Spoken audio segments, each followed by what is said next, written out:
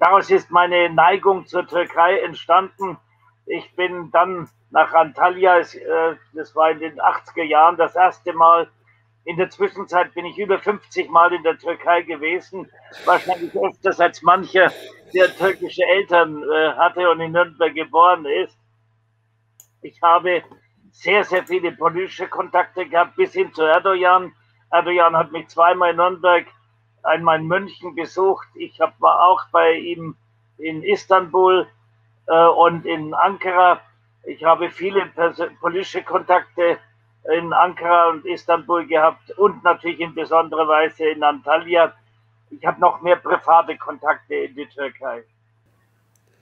Wie Sie vorhin erwähnt haben, haben Sie ja Herrn Erdogan ja auch persönlich kennengelernt. Äh, Sie kennen ihn recht gut all die Jahre. Äh, wie hat sich das Verhältnis all die Jahre entwickelt? Äh, wie stufen Sie den Einfluss auf die Deutsch-Türken in den letzten Jahren ein? Also ich sage hier ganz offen meine persönliche Meinung und kann nicht für die CSU, nicht für die Regierung sprechen. Und ich will schon gleich nicht äh, die türkischstämmigen oder die türkische Gemeinde ärgern. Ich sage, in den ersten Jahren hat Herr Erdogan für mich eine sehr überzeugende Politik betrieben. Die wirtschaftlichen Erfolge in der Türkei waren groß. Ich habe allerdings den Eindruck, dass er immer autoritärer geworden ist und ähm, vieles auch getan hat, was die Türkei intern nicht befriedet hat, sondern was zu größeren Schwierigkeiten geführt hat. Die Polarisierung in der Türkei zwischen der AK-Partei und den anderen Parteien ist größer geworden. Äh, und das war nach dem Putschversuch, hatte sich das noch weiter massiv äh, erweitert. Und ich habe manchmal den Eindruck, dass Erdogan sich leider in den letzten, in den letzten zwei, drei Jahren sehr stark von der Europäischen Union entfernt und selber Träumen nachhängt, dass er der große Islamistenführer im Nahen Osten wird. Und das ist nicht gut für die Türkei und gleich nicht gut für die in Deutschland lebenden Türken. Aber wie gesagt, anfangs habe ich ihn geschätzt, aber in der Zwischenzeit äh, sehe ich seine Politik sehr kritisch. Sie haben ja all die Jahre auch die Entwicklungen in der Türkei mitverfolgt, auch das äh, Bild auf den Straßen. Wie hat sich das Bild in der Türkei verändert? Die Türkei, also die Türkei war ursprünglich ein, jedenfalls in den Bereichen, die ich erlebt habe, Istanbul oder Antalya, völlig liberale Rechtsstaaten, wie wir sie äh, in Deutschland oder Frankreich kennen. Aber in der, gerade in der Zeit nach dem Putsch ist da, äh, hat sich das vieles verändert.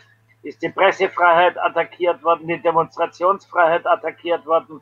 Die AK-Partei hat auch, jetzt sage ich mal, relativ strenge Gesetze, Stichwort Kopftuch und ähnliche äh, Bereiche gemacht, sodass äh, sich meines Erachtens die Türkei hier ein Stück von der EU entfernt hat, was zum Nachteil auch der meisten Menschen ist. Gerade die, die Menschen, die aus der Türkei stammen und in Deutschland wohnen, wollen möglichst unkomplizierte Beziehungen zwischen Deutschland und der Türkei. Und das ist schwierig geworden. Allerdings sage ich auch, die Türkei leistet Ungeheures bei der Aufnahme von Flüchtlingen aus Syrien. Und da ist es gut, dass die Europäische Union das mit Geld unterstützt.